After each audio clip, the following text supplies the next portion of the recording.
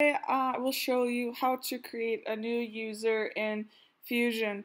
So right now this window is the users list and it is located in Fusion Admin users list users. Um, when creating a user you need to have a contact that would relate back to this username and that is found in Fusion Core contacts and then you could create a new person or new company. So now I'll show you how to create a new user. So I'm going to click new and select my contact that's related to this user. So um, and then put in your username, your password, um, you, then you can give uh, a permission group. So this is done when you have set up Fusion in your permissions group, which would have been in preferences.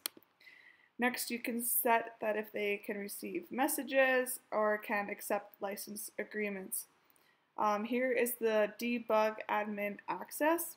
Uh, there's three options here. So no access is that they have they cannot log on to this window. Restricted access is, access will be able to well they, they will be able to access some basic non-harmful functionality in the window and full access means that they can do anything they please in that window.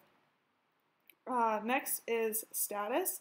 So when an employee leaves the feedlot, you can make this to a non-current status.